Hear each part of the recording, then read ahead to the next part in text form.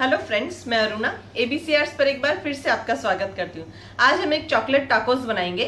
Chocolate tacos बनाने के लिए हमें थर्माकोल चाहिएगा। इस तरह की हम एक राउंड कटोरी ले लेंगे। शार्प कॉर्नर की कटोरी लेंगे हम। ये आप ध्यान रखिएगा इस तरह की।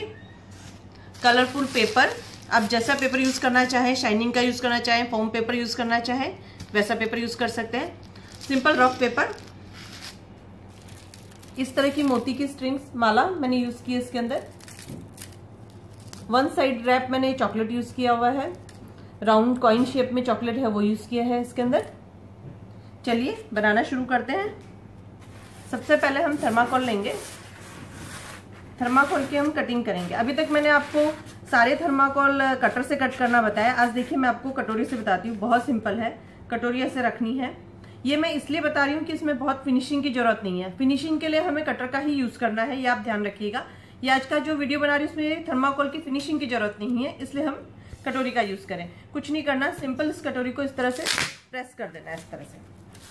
प्रेस करके, ये देखिए, इस तरह से आ गया कटोरी में, इसे कटोरी से बाहर हम निकाल लेंगे। देखिए, कटोरी से निकलने के बाद में इस तरह का अनफिनिश रहेगा थोड़ा सा क्लीन कर लीजिए बस, बहुत फिनिशिंग इसमें ज़रूरत नहीं है।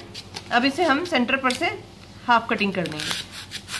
इसका कोई माप नहीं है, आप अंदाजे से बना सकते हो, बिल्कुल। आप साइज़ छोटा बड़ा भी ले सकते हो, जो साइज़ का आपको बनाना हो वो बना सकते हो। इस तरह का देखिए हमने हाफ़ किया है। अभी हम एक रफ पेपर लेंगे। रफ पेपर पे मैं मार्किंग बता रही हूँ इसके कवरिंग के लिए। इस तरह से हम इसे रख लेंगे। और पेन से हम पहले सेंटर की ले लेंगे। इससे बड़ा ही लेंगे हम। जितना थर्माकोल है, इससे तकरीबन इस तरह से हम बड़ी कटिंग करेंगे।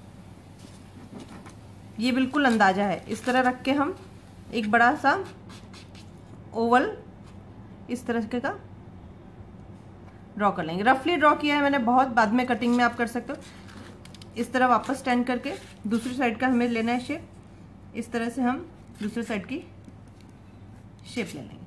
ये हमें ओवल शेप चाहिए, तकरीबन इतनी बड़ी। अभी आप छोटी बड़ी कटिंग कर सकते हो। हम रफली से फोल्ड कर देते हैं इस तरह से। एक हमें अंदाज़ा तो आ ही गया है, ये साइज़ का।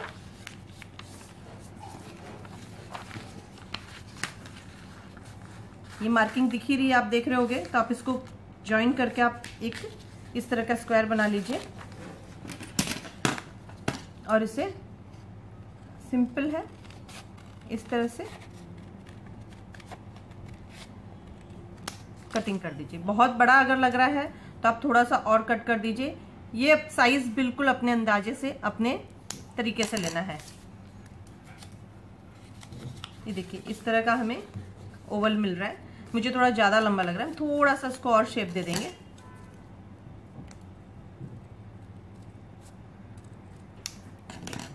इस तरीके से। ये हमें शेप आ गई। ये शेप मैं आपको बता दूँ, इस तरीके से हम ये देखिए टाको शेप लाएँगे। अब हमें क्या करना है? सबसे पहले हम ये पेपर लेंगे। रफ पेपर ही लेंगे कोई भी। इसे छोटा सा हम इस तरह से फोल्ड करके कटिंग कर लेंगे।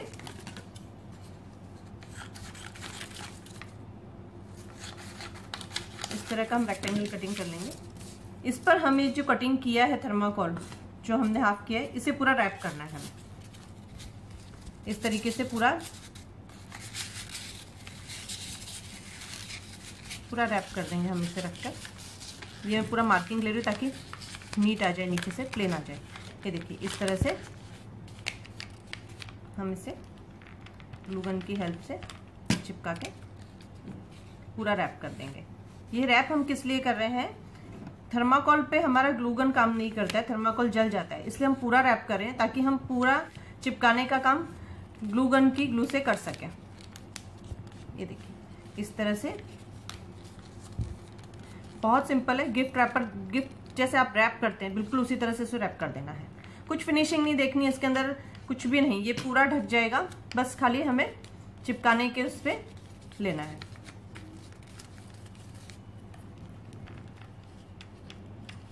इस तरह से।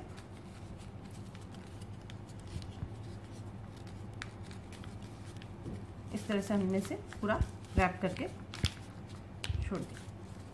अभी हमने जो ये कटिंग बनाई थी, ये कटिंग हम अपने पेपर पे कट कर लेंगे। देखिए, हमारी कटिंग रेडी है। ये कटिंग मैंने फॉर्म शीट पे की है। ये आपकी चॉइस है, आप किसी पे भी कर सकते हो।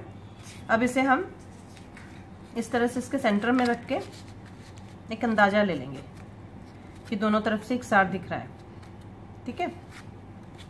अब हम इस पर एक साइड पे से इस तरह से रख लेंगे। ग्लू गन की हेल्प से हम ये पेपर चिपका देंगे। इस तरीके से नीचे से। ये आप ध्यान रखिएगा कि आपका इस तरह की शेप दिखे। पीछे की, आगे की अलग अलग शेप ना दिखे। ठीक है? ये चिपकने के बाद में हम अगेन ग्लू गन लेंगे। अच्छे से लगाकर इसे प्रेस कर देंगे अच्छे से। दो मिनट सूखने का वेट करेंगे। इसी तरह हम दूसरे साइड को भी कवर कर देंगे पूरा।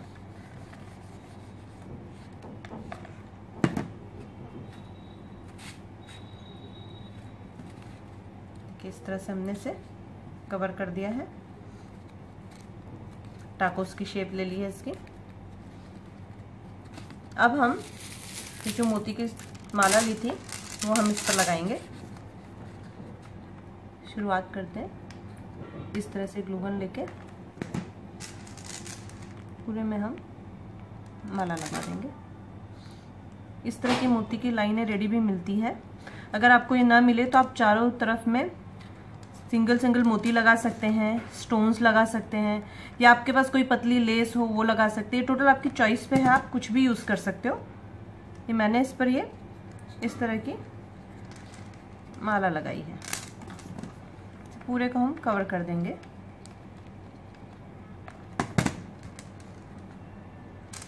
ग्लू गर्म होती है। थोड़ा सा आप ध्यान रख के कीजिएगा। हाथ पे लग ना जाए। मैं तकरीबन अपने हर वीडियो में आपको ये बताती हूँ।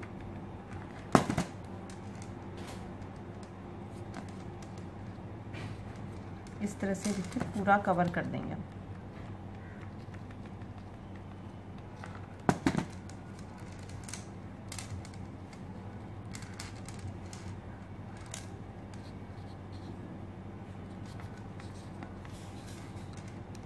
लास्ट में ये कटिंग कर देंगे मोती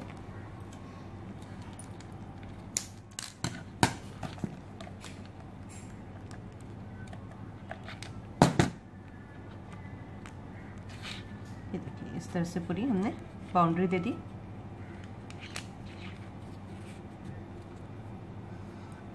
अब हम इस पर चॉकलेट अरेंज करेंगे।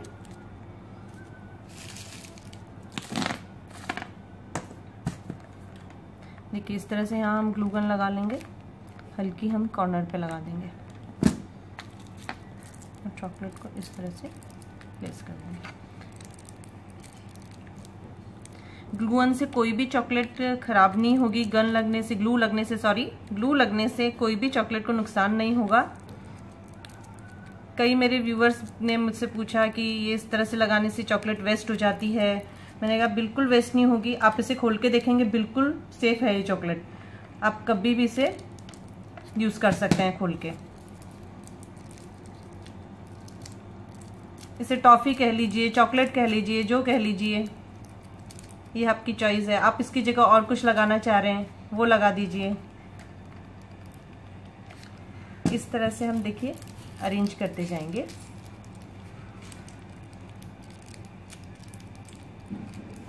जितनी भी एक टाकोज में आप फिट कर सकें, उतनी आप चॉकलेट इस पर लगा सकते हैं। ऑलमोस्ट सात से आठ चॉकलेट यहाँ पे अरेंज हो जाएगी आपकी। ये साइज़ पे है, जो मैंने साइज़ बनाया है, उस पर आठ चॉकलेट अरेंज हो रही है। अगर आप छोटा बनाते हो तो कम भी हो सकती है, बड़ा बना रहे हो तो ज़्यादा भी हो सकती है।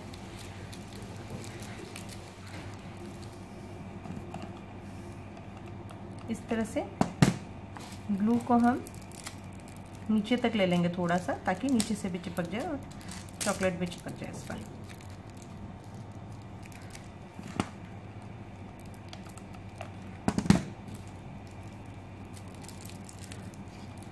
थोड़ा पेशेंसली करेंगे, थोड़ा ध्यान से कीजिएगा, कहीं आपको गरम ग्लू लग ना जाए।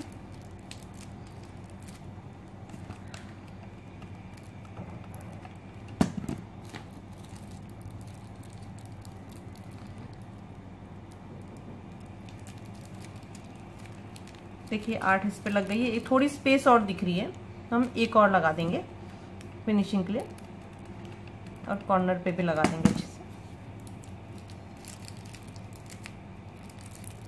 इस तरीके से।